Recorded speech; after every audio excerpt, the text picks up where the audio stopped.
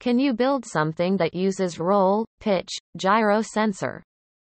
Please also show how you apply it in the coding. Many thanks.